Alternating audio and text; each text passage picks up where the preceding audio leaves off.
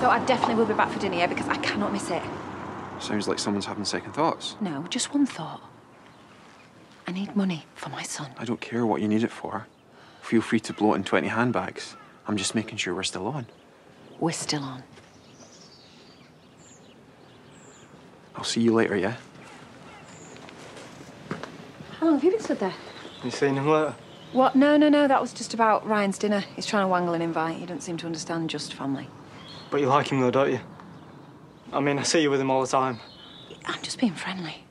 Cain hates him. Oh, come on. Cain hates everyone, even the people he likes.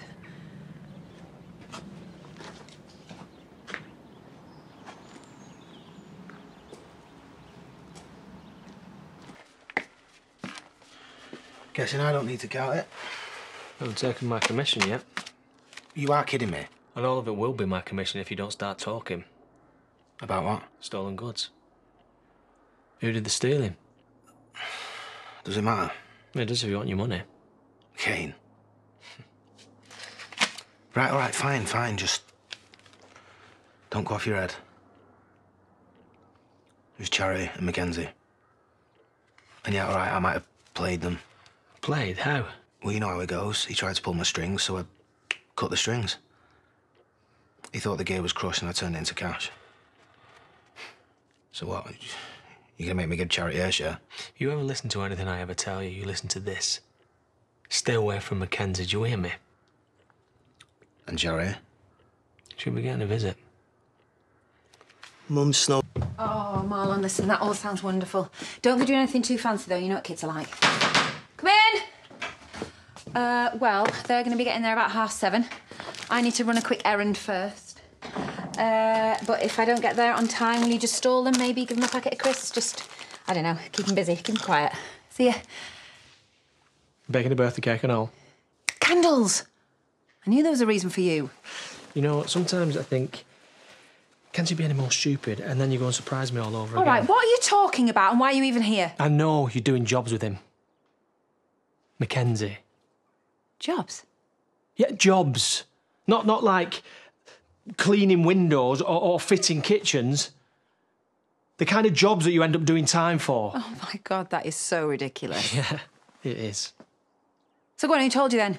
Oh, let me guess. Aaron. No, it doesn't matter who told me. I know. Well, to be honest, I'm really hurt about this. Because that, that is not me anymore. so what's the errand? Okay. No, I'm going to put it another way, okay? What's the job? So say that again. I think we both know that you heard me the first time. You said you were going to do over home farm, Rob Kim. I mean, not even you are that stupid, are you? Oh, no, hang on a minute. You are. Okay, it wasn't actually my idea. No, you just thought you'd go along for the ride, didn't you? Because there's a nice little learner at the end of it for Oh, you. you're not honestly going to stand there and slap me on the wrist about this after everything you've done. I mean, that is almost funny, almost. So, you make it up to your kids. That's just gone out the window now, is it? Have you not stopped to think that maybe I'm actually doing this for my kids? For Noah? So everything you promised him, "I- I'll pay for this, I'll pay for that. This is the rabbit you're pulling out of the hat. And you know what? If there was any other way. Well, there's plenty of other ways, but this is you, isn't it? Eh? Stuck on a loop. Stupid, full of stupid, full of stupid. You know nothing about my life right now! What did your kids do wrong to deserve you? Oh, come on, please don't pretend that you even care about them. This isn't even about me, is it? This is about the brother in law. Is he your type now? Isn't? Because I, I, I just can't keep up. I'll tell you what he is. He is the fly in your happy little soup bowl, isn't he? And you want to get that fly out, don't you? Just when you and Moira are getting it together and sealing all the little cracks. This is such bad timing for you, isn't it?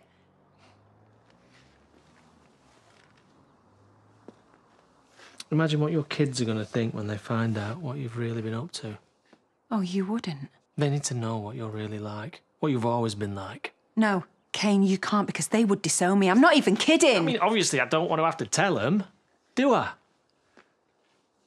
Unless you and me, we can sort something out. like what? Like you go along tonight with whatever your silly little plan was. Nothing changes, stays the same. But But